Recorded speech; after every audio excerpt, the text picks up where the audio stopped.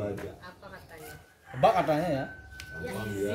Salah satu pertahanan kita, kita yang paling penting untuk mel- melindungi diri kita dari virus adalah imun kita. Imun adalah pasukan yang paling pertama. Eh, salah satu pertahanan kita yang paling lainnya penting untuk diam, melindungi gitu. diri kita.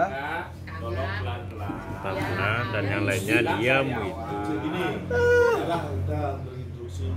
Intonasinya lebih lambat, volumenya lebih besar.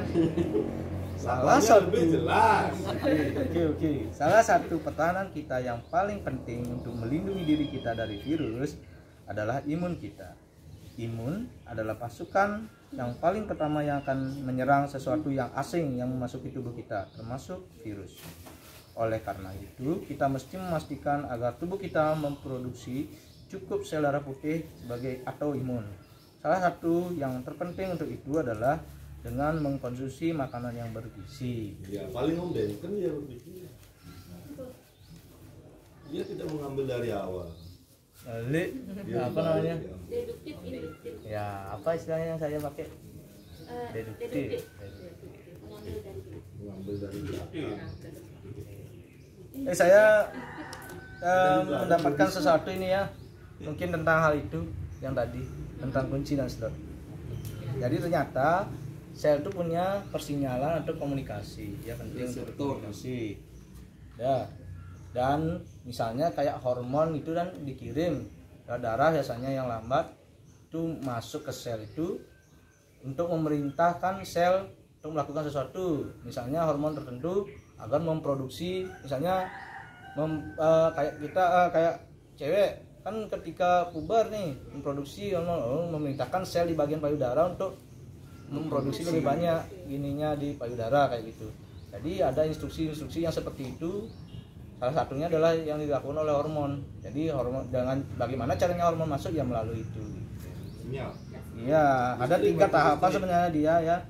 Eh, beberapa caranya yang yang tengah-tengah itu adalah dengan menyamakan apa namanya protein horm- eh, selnya dengan protein yang hormonnya itu kirim. Jadi agar hormonnya juga tidak tersesat dia masuk ke sel yang lain. Jadi hormon tertentu masuk ke sel tertentu. Gitu.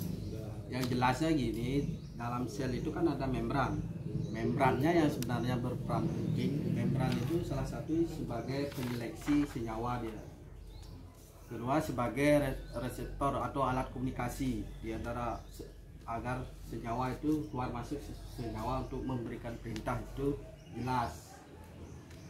Dalam virus kan dia adalah sebuah senyawa susunan senyawa kan.